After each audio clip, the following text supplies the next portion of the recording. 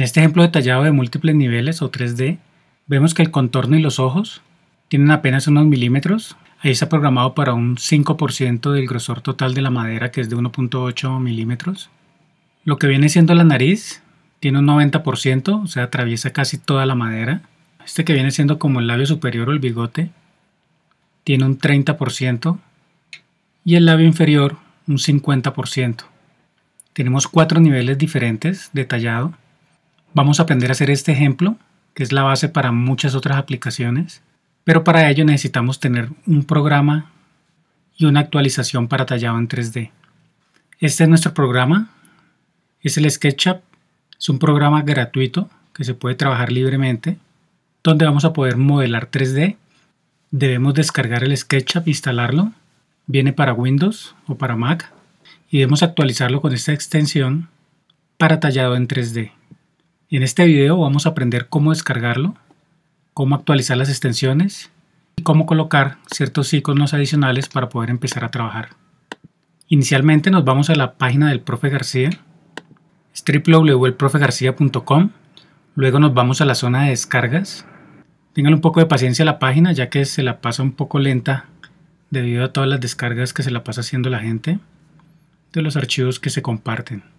Aprovechen para invitarme a un café, se los voy a estar agradeciendo y estarán apoyando esta labor educativa. Se vienen aquí a la parte inferior, buscan donde están los programas de la CNC y aquí está programa para modelado 3D, SketchUp y extensión para tallado 3D, SketchUp Cam.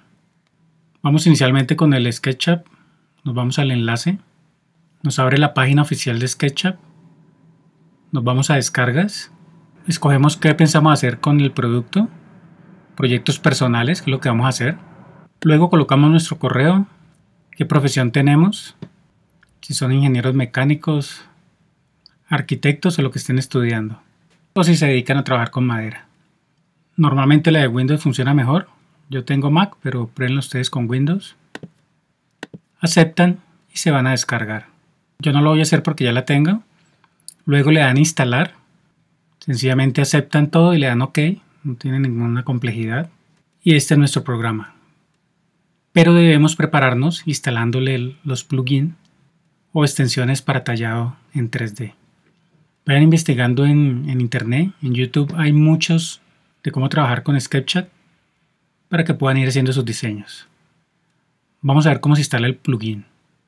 Estando en la página de Profe García, nos vamos allá a descargas del SketchUp Cam, aquí vamos directamente a la descarga. Vamos a descargar por Dropbox. Oprimimos acá y descargamos nuestro programa que es un SketchUp Cam versión 1.4a. Después de que tengamos descargada esta extensión, vamos al programa, lo voy a cerrar para que veamos cómo inicia. Siempre me va a ofrecer la opción de comprar la versión Pro. Y lo que vamos a hacer inicialmente es escoger un formato.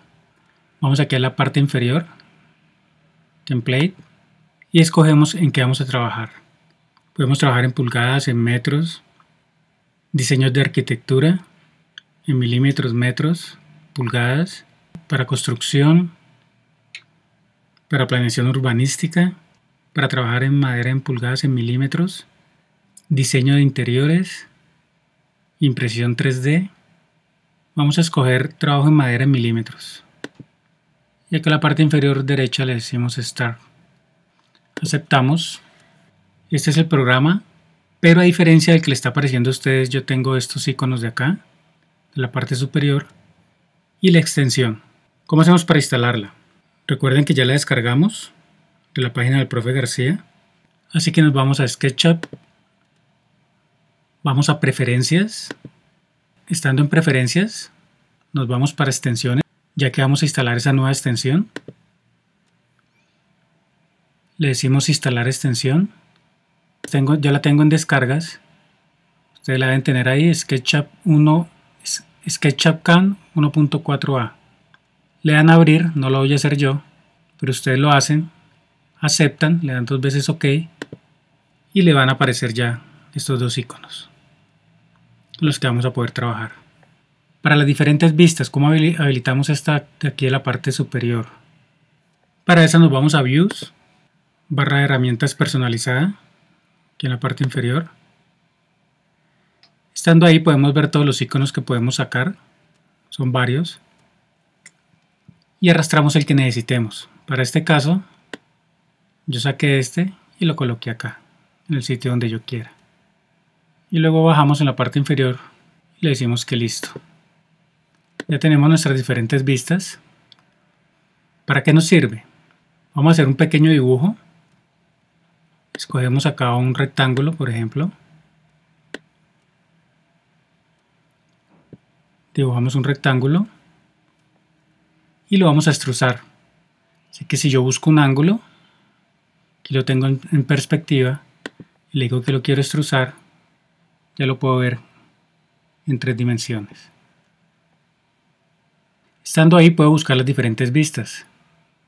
Esta de perfil, la vista superior si yo quiero dibujar algo en el techo, la vista de frente si estoy dibujando por ejemplo una casa, un paisaje, de un lado, del otro y la parte posterior. Es muy bueno en el momento de modelar. Hay cientos de opciones, se pueden hacer grandes cosas, los de arquitectura son encantados con este programa, pero nosotros lo vamos a utilizar para lo básico. Yo puedo ir borrando lo que no necesito, escogiendo el borrador aquí en la parte superior izquierda. Les voy a mostrar un poco cómo funciona, sin embargo todavía no vamos a hacer el diseño porque eso lo vamos a hacer en el siguiente video pero para que lo vayan entendiendo. Les queda de tarea montar el programa y empezar a practicar con él. Vamos a hacer un pequeño ejemplo para que vean cómo funciona. Lo primero que hay que configurar son estos parámetros. Después en el próximo video se los explico con calma de cómo funcionarían. Pero aquí lo voy a hacer rápido como para ir practicando. Importante este X y Y. Yo tengo esta tabla de 80 milímetros en X por 100 milímetros en Y le digo OK, le coloco lupa, la agrando para poderlo ver. Ya me marca cuál es mi tabla, 80 por 100 milímetros. Dentro de ella quiero extraer un rectángulo, un trozo de madera. Por ejemplo, voy a quitar este trozo de madera, pero quiero hacer el corte por la parte exterior para que me quede exactamente de estas medidas que lo tracé. Así que escojo acá, corte exterior. Si nos damos cuenta marcó con una línea roja. Eso quiere decir que el corte lo va a hacer para que me quede exactamente con esas medidas. O yo puedo escoger el tercero bajando, que es un corte interno. Se dan cuenta que la línea la puso por dentro. Voy a dejarlo por fuera, corte externo. Ella me lo marcó para poderlo cortar. Pero por dentro tengo un círculo. Marco un círculo yo no quiero rectángulo, quiero un círculo. Lo dibujo con espacio, dejo de dibujar.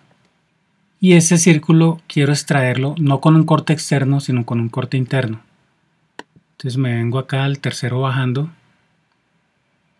Si se dan cuenta ahí me marcó el corte va a ser interno. No lo quiero para el cuadrado, sino para el círculo. Allá vemos que lo marcó para extraerlo. Sin embargo, cuando esté cortando esta pieza, cuando, vaya terminando se puede soltar y nos puede quedar con imperfecciones. Entonces le marco unos tab.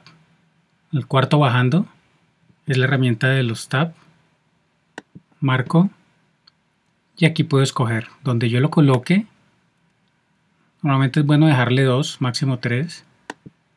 ¿Eso qué quiere decir? Que cuando él vaya cortando y llega acá, me deja ese espacio para que yo lo haga manualmente al final y no se me vaya a soltar la pieza antes y me vaya a generar imperfecciones. Puedo hacer no solo cortes, sino que puedo desbastar a un nivel. Por ejemplo, vamos a hacer otro cuadrado. Por algún motivo necesito que en esta esquina, donde dice ese cuadrado, se me desbaste un poco. Entonces me vengo a esta herramienta, la novena bajando, la toco y si me paro sobre el cuadrado me doy cuenta que ese es el trazado que me va a hacer. Lo va a marcar por dentro y luego me va a hacer todo el desbaste de forma pareja. O el círculo si quiere lo puedo solo desbastar. Practiquen, nos vemos en el siguiente video donde vamos a ver cómo hicimos el tallado de cuatro capas diferentes. Nos vemos el próximo miércoles. Chao.